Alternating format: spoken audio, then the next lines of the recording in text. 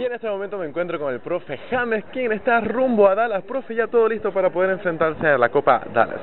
Así es, gracias, muy amable. La verdad que Fútbol Conet siempre no dando cobertura a todo lo que es el deporte formativo. Estamos ya en la, como se dice, el día, llegó el día tan esperado.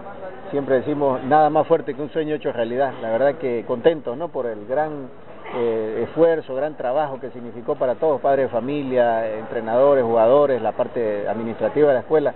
Esta es la tercera vez que vamos a la Copa Dallas, que es considerado un mundial de fútbol infanto juvenil.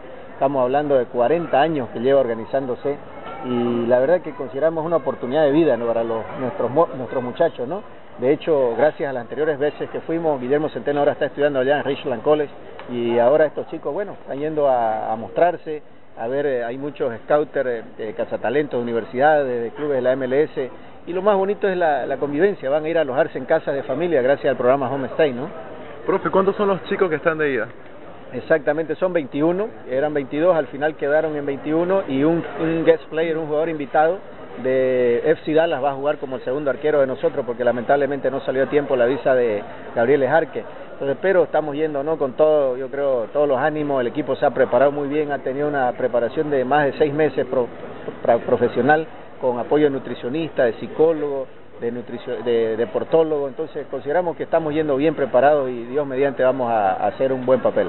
Que es algo muy importante por mencionar, que no es algo que viene de un mes, dos meses, ya vienen preparándose hace tiempo. Así es, la verdad que este trabajo ya viene, en realidad si hacemos eh, eh, reminiscencia al proceso, viene desde la, este, este equipo se viene preparando desde la Copa Salvador, eh, perdón, Foz de Iguazú, después fue, fue, a Salvador de Bahía el año pasado, que es un torneo muy competitivo, y ahora ya vamos para Copa Dallas. Es un proceso, estamos hablando de un par de años a tres años por lo menos, que bueno, ha empezado a rendir su fruto con cinco jugadores de selección cruceña eh, de un de nivel muy alto. Consideramos que acá van a salir varios talentos que van a aportar al fútbol boliviano. ¿no? Y si hablamos del financiamiento, ¿todo es recurso propio?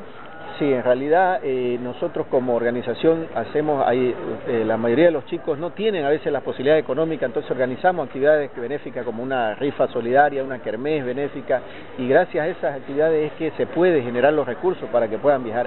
También gracias al apoyo de gente aprovechamos a agradecer, ¿no? aparte de Roberto Tellería de Fútbol con él que siempre nos hace posible que estas actividades se conozcan, eh, gente como el doctor Alejandro Unzueta Clínica Ores, la gente como Antonio Vicente, Fideo Famosa, el doctor Edgar Peña Gutiérrez de Credinford, eh, allá en, Dallas el amigo Willy Toledo, el profe Franklin Flores, gente que nos ha venido ayudando con su aporte solidario para que se haga realidad el sueño de todos nuestros muchachos, ¿no?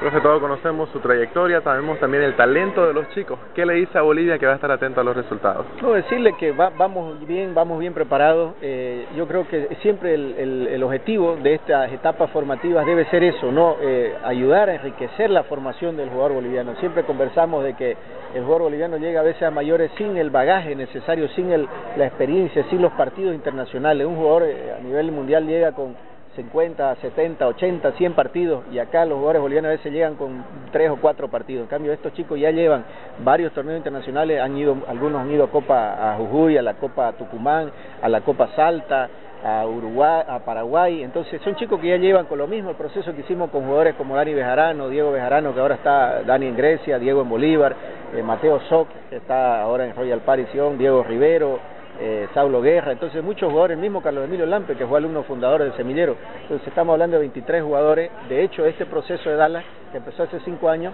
ya dio los primeros frutos, Camilo Góngora debutó en Sport Boy con 17 años, Junior Beck acaba de firmar contrato hace unos días, entonces esos son los resultados que se empiezan a ver. Profe, muchas gracias y mucho éxito en Dallas. No, gracias, muy amable y saludo a toda la gente, a la audiencia de Fútbol con Ed y muchísimas gracias y Dios los bendiga siempre. Gracias a usted.